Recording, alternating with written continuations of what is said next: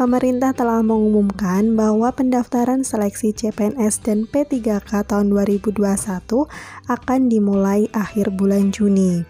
Apabila teman-teman tertarik untuk mendaftar CPNS maupun P3K tahun 2021 ini, sudah saatnya kita mempersiapkan apa-apa yang diperlukan untuk seleksi CPNS dan P3K mulai dari persyaratan umum yang tercantum di situs SSCASN ataupun syarat khusus CPNS 2021 dari masing-masing kementerian. Selain harus lolos seleksi administrasi dan serangkaian tes lainnya, salah satu yang dipersyaratkan sejumlah kementerian adalah peserta harus terverifikasi TOEFL atau peserta harus melampirkan sertifikat TOEFL sebagai salah satu berkas persyaratan untuk pendaftar P3K atau PCPNS pada kementerian tersebut. Lalu, kementerian-kementerian apa saja mensyaratkan TOEFL akan kita bahas dalam video ini teman-teman, lengkap dengan kriteria skor minimalnya. Oleh karena itu, simak video ini sampai selesai dan jangan lupa tekan subscribe dan tekan tanda loncengnya untuk mendukung channel EduFo Project untuk terus berkembang. Oke teman-teman, kita mulai informasinya.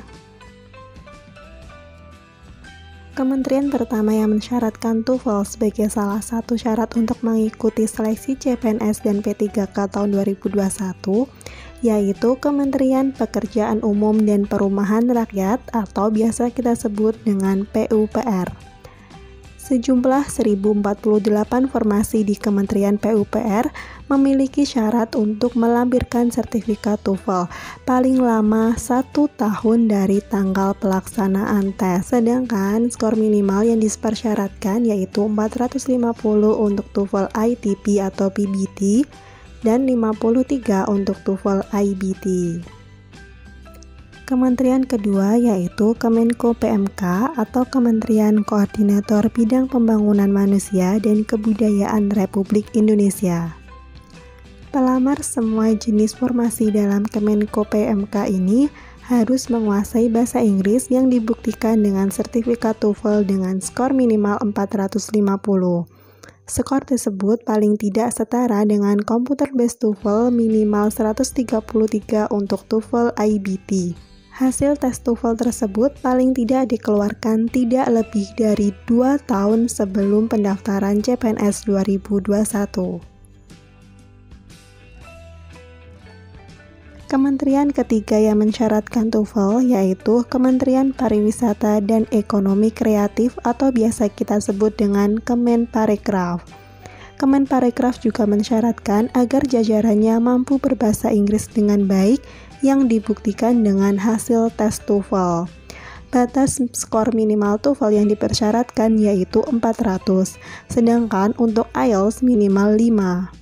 Sertifikat tes tersebut sebaiknya diterbitkan oleh lembaga internasional atau lembaga bahasa perguruan tinggi atau lembaga pendidikan bahasa Inggris. Kementerian selanjutnya yaitu Kementerian Perindustrian Republik Indonesia atau Kemenperin. Tidak berbeda jauh dengan kementerian-kementerian sebelumnya, Kemenperin juga mensyaratkan jajarannya untuk tersertifikasi TOEFL. Skor minimal yang ditetapkan untuk nilai TOEFL para peserta seleksi calon pegawai negeri sipil atau P3K di Kemenperin adalah 500. Kementerian selanjutnya yaitu Kementerian Energi dan Sumber Daya Mineral atau Kementerian ESDM. Kementerian ESDM juga mensyaratkan sertifikasi TOEFL dengan skor minimal yaitu 450. Kementerian selanjutnya yaitu Kementerian Luar Negeri atau Kemenlu. Sudah bukan rahasia lagi kalau kemahiran berbahasa Inggris wajib dimiliki oleh setiap pegawai di Kemenlu. Kementerian Luar Negeri mensyaratkan skor tertinggi TOEFL dibandingkan dengan kementerian lainnya, yaitu sebesar 550. Untuk informasi lebih lanjut, kamu bisa masuk ke situs resmi Kemenlu yaitu ecpns.kemenlu.go.id. Kementerian selanjutnya yaitu Kementerian BUMN atau Kementerian Badan Usaha Milik Negara Republik Indonesia. Mau tahu berapa skor TOEFL minimal untuk mendapatkan kesempatan untuk bergabung dengan Kementerian BUMN? Minimal skor TOEFL minimal yang ditetapkan yaitu 450. Kementerian yang terakhir yaitu Kementerian Komunikasi dan Informatika atau Kemenkominfo. Pelamar untuk jabatan dengan kualifikasi pendidikan sarjana S1 dan pasca sarjana S2 pada formasi umum, lulusan terbaik dan penyandang disabilitas wajib menyertakan sertifikat TOEFL PBT dengan skor minimal 450. Baiklah teman-teman, itu tadi kementerian-kementerian di Indonesia yang mensyaratkan sertifikat TOEFL untuk melamar CPNS dan P3K 2021 ini. Semoga informasi singkat ini bermanfaat dan membuat kita semakin semangat untuk mempersiapkan diri mengikuti seleksi CPNS dan P3K tahun 2021 ini.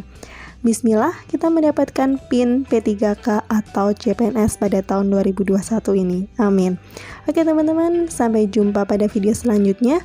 Dan bye-bye. Wassalamualaikum warahmatullahi wabarakatuh.